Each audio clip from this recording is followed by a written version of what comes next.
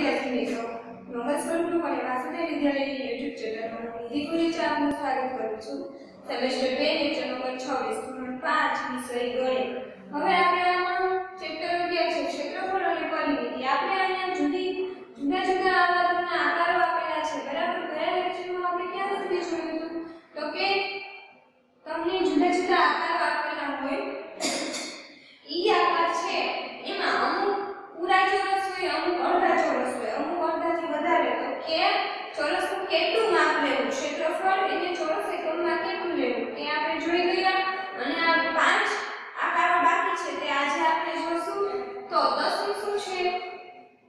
До свидания.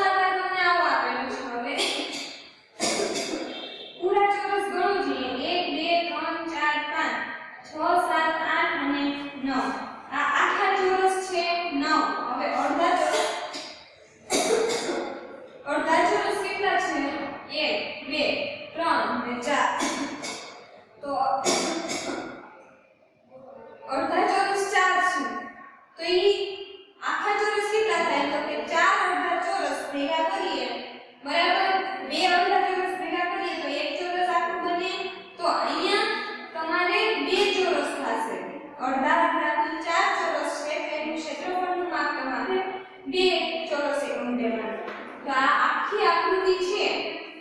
એનું ક્ષેત્રફળ શું થશે? તો કે 11 ચોરસ.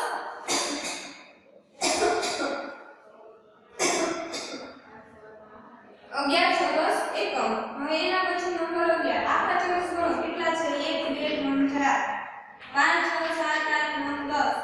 અગિયાર, બાર, તેર, ચૌદ, પંદર, સોળ, સત્તર, અઢાર.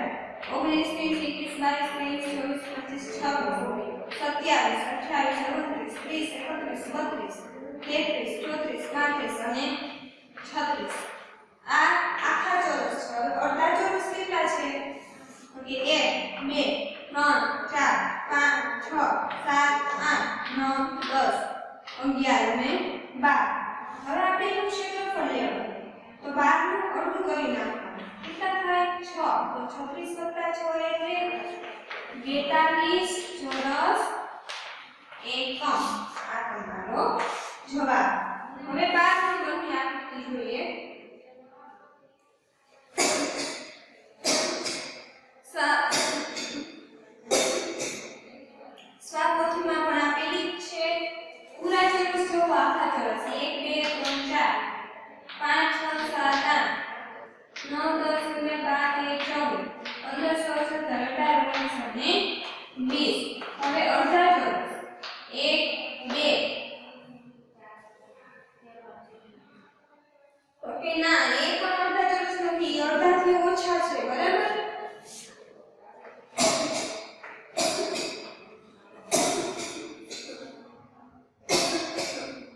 આ ચાર ચોરસ છે તે અડધાથી ઓછા છે એટલે એને ગણતરીમાં લેવાના નથી હવે અડધાથી વધુ ક્ષેત્રફળ સમાંતર હોય એવા કેટલા ચોરસ છે તો કે 1 2 3 અને 4 તો એને એક આખું ચોરસ ગણી લેવાનું તો 20 4 બરાબર 24 ચોરસ એકમ હવે નંબર 13 પૂરા ચોરસ જો 1 2 3 4 5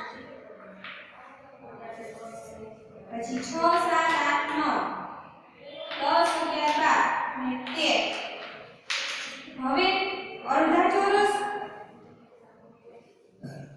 તો કે અડધું ચોરસ એ કઈ નથી, પણ અડધાથી વધુ હોય એવા ચોરસ કેટલા છે? તો કે આ એક, આ બે, એક, બે, પછી આ ત્રણ પછી આ ચાર અને આ પાંચ અડધાથી વધુ ચોરસ પાંચ છે એટલે કે અડધાથી વધુ ક્ષેત્રફળ સમાવતું સમાવતું હોય એવા ચોરસ પાંચ છે એને આખા ચોરસ બરાબર લઈ લેવાના હવે અડધા ચોરસ અડધાથી ઓછું ક્ષેત્રફળ સમાવતા હોય એવા ચોરસ તો કે આ એક આ બે આ ત્રણ અને આ ચાર નથી બરાબર છે તે વત્તા પાંચ એટલે અઢાર ચોરસ એકમ આવી છે બધાને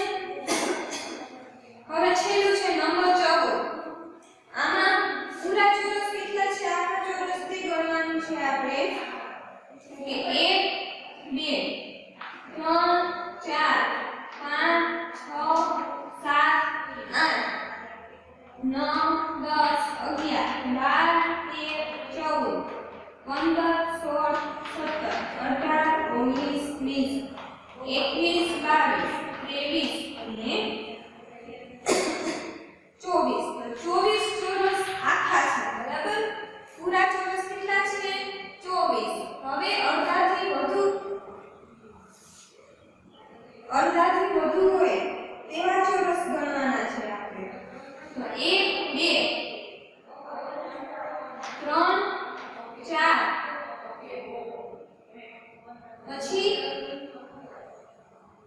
પાંચ અને છ. છ ચોરસ એવા છે કે જેનું ક્ષેત્રફળ અડધાથી વધુ છે. અડધા ચોરસથી વધુ ચોરસ ક્ષેત્રફળમાં સમાવેશ થઈ જાય. એટલે એને આખા ચોરસ બરાબર ક્ષેત્રફળ ગણી લેવાનું હવે અડધા ચોરસ જેવું અડધા ચોર અડધું ક્ષેત્રફળ આવતું હોય ચોરસનું અડધાથી ઓછું ક્ષેત્રફળ સમાવતા હોય એવા ચોરસ કેટલા છે ઓકે એક બે ત્રણ ચાર પાંચ છ સાત અને આઠ તો એને આપણે ગણતરીમાં લેવાના નથી ચોવીસ અને છ કેટલા થાય ચોવીસ વત્તા છ એટલે ત્રીસ ચોરસ એકમ તો આપણે જોયું અહીંયા પૂરેપૂરા ચોરસ હોય એને એનું ક્ષેત્રફળ એક ચોરસ એકમ લઈ લેવાનું પછી અડધાથી વધુ ક્ષેત્રફળ ચોરસમાં સમાવી શકતું હોય, તો એને પણ એક આખા ચોરસના ક્ષેત્રફળ બરાબર એક ચોરસ એકમમાં આપણે લેવાનું. પછી અડધા ચોરસથી ઓછું ના, આ એક ચોરસ છે, એમાં કોઈ આકૃતિમાં આ અડધાથી